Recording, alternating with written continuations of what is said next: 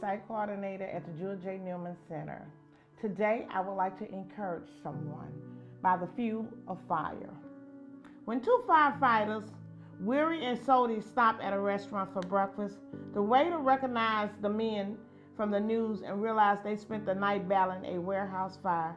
To show their appreciation, she wrote a note on their bill. Your breakfast on me today. Thank you for seeing others and for running into the place everyone else ran away from. Fueled by fire and driven by courage, what an example you are.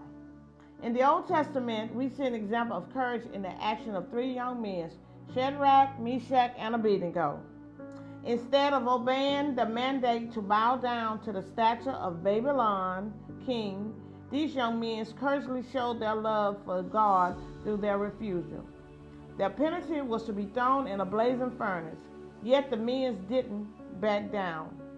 If we are thrown into the blazing furnace, the God we serve is able to deliver us from it, and he will deliver us from his, your majesty's hand. Even if he does not, we would not serve you, your God or worship the image of God. God didn't rescue them and even walk with them in the fire. In the fiery trial and trouble days, we too, the assurance that God is with us, He's able. When have you felt God present during a difficult trial? What gives you confidence to press on when changing?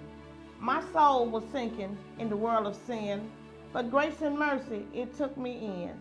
It took my feet out of a miry clay and placed them on the rock I stayed. Oh, what a release it was when God rescued me. He loosed the chain that had me bound he set me free. I hope this has been an inspiration. I hope it has been encouraged to someone.